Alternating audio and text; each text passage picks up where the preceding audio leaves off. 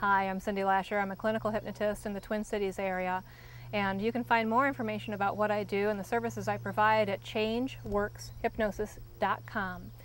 I'd like to talk to you today about stopping smoking using hypnosis.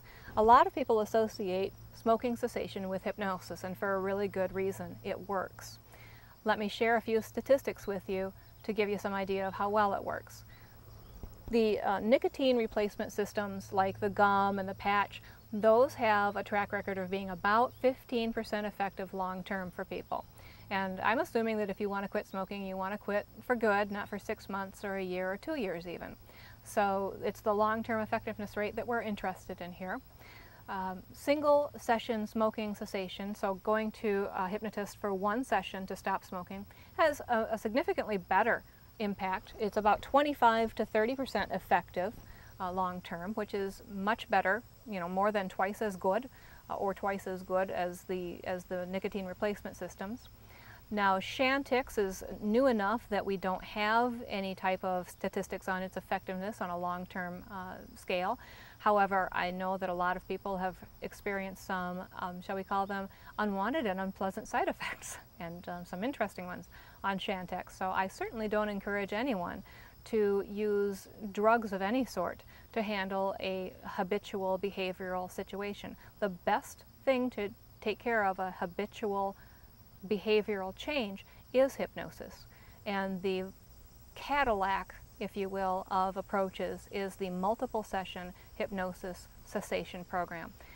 Many of you may know and be familiar from my website and from the different talks that I do that both of my parents died of lung cancer and they were smokers. Uh, they were what I called militant smokers. They really didn't want to quit.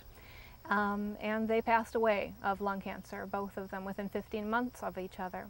And so I really have a, a passion and a spot in my heart for working with people to get this nasty, ugly, dangerous habit out of their lives. So I do a multiple session hypnosis program that includes a number of different factors that have been very deliberately included into the program, all designed to break your associations, your positive associations with smoking over a period of time. Now you've heard possibly that it takes 21 days to make or break a habit. Does that sound familiar?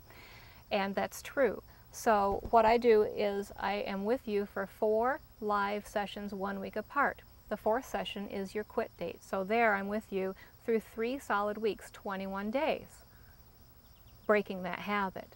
What I do then is through a DVD or a CD that I provide to you, you then listen to reinforcement hypnosis sessions that then carry with you for another 21 days so that we can really reinforce the behavioral changes. Because of this, my program is currently running about 90% effective, which is tremendously a blessing and I really think that you know my parents are looking down on me and they're helping me to create the program that is the most effective. Um, because this is important. Now everybody who comes to me has tried everything else under the sun to quit. And um, the good news is they're still trying to quit. And so don't be, don't be concerned um, if you've tried everything else and you're still looking to quit. To me, that speaks to your motivation. And if you're willing to do that, then you are motivated. And if you are motivated, then I can help you to quit. I'd encourage you to take a look at my website, changeworkshypnosis.com. There's a, a, full page there on smoking cessation, and then there's some additional pages that detail out some of the research findings on hypnosis and smoking cessation so that you can take a look and be your own judge. Decide for yourself what method is most effective, and if you're looking to quit, as they say, don't quit quitting, I can help. Thanks.